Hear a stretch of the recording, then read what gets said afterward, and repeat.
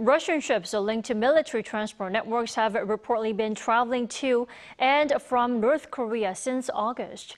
Citing satellite images, the Washington Post on Monday said two ships with no previous record of a moving between Russia and North Korea had begun making trips in August when Vladimir Putin and Kim Jong un met for talks. The satellite imagery analyzed by London-based Royal United Services Institute showed the two ships making at least five round trips beginning mid-August through Saturday. Washington earlier this week said that Russia has moved around 1,000 containers, which could potentially hold hundreds of thousands of weapons that could be used in the war in Ukraine.